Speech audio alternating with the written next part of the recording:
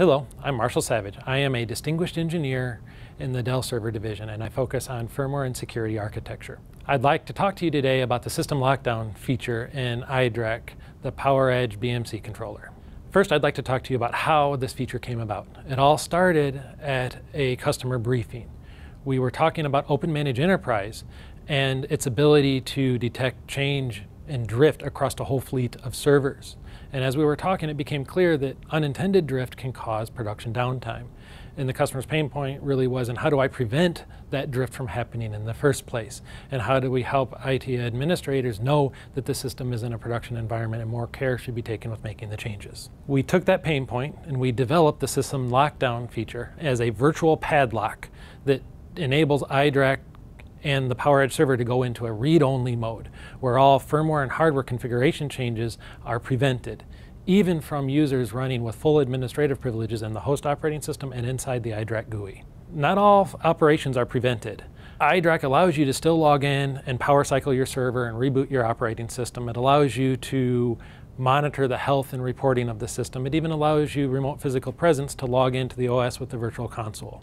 So all of those operations are still there. Where system lockdown takes effect is everything below the hypervisor and OS operating level. So all the firmware configuration, all the hardware configuration stays locked, and it brands it in the iDRAC GUI with the big banner and yellow padlock that we are in system lockdown mode to give visual clues to your system administrators that this system is in production and that any changes need to be made with care. It forces them to first disable system lockdown mode before going in and making any targeted changes. System lockdown feature requires iDRAC Enterprise or Data Center license to be used.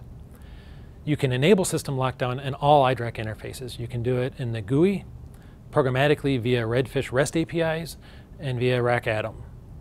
Any interface that you use to make a change will return a unique error code indicating that system lockdown is in effect, so that you know if your scripts aren't working, why they are failing.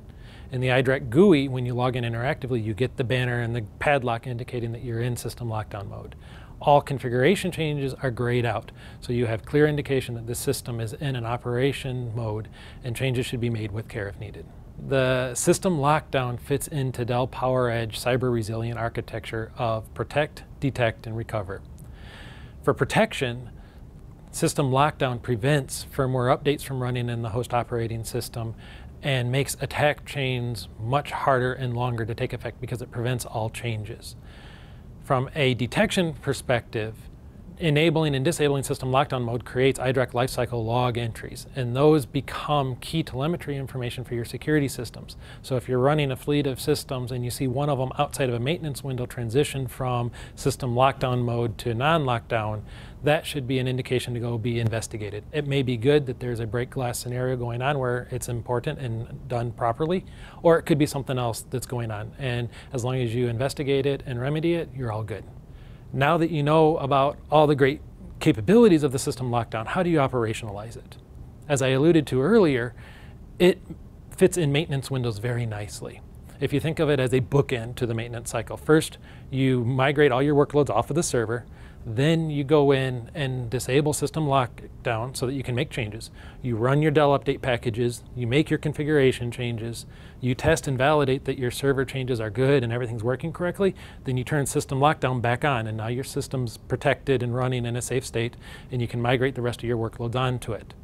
By following this methodology, it helps your IT operations understand that these servers are in production and when they are working. If it's outside of production, then they need to take the extra care to be able to disable it and make the configuration changes and turn it back on. So it causes a pause where your system administrator can think about what they're doing to avoid unintended mistakes. This can also be automated at scale. We talked about Open Manage Enterprise earlier. You can also use Open Manage Enterprise to schedule these downtime windows and coordinate each server's update and configuration changes across your fleet of systems. So it's not only a one-to-one -one operation, because it's available via the programmatic APIs of Redfish, you can orchestrate it in whatever tool you have. So in conclusion, the system lockdown feature is very powerful and simple to use in your data center. It helps your IT administrators follow best practices and take care when they are making production level changes, and it helps prevent unintended changes to your systems.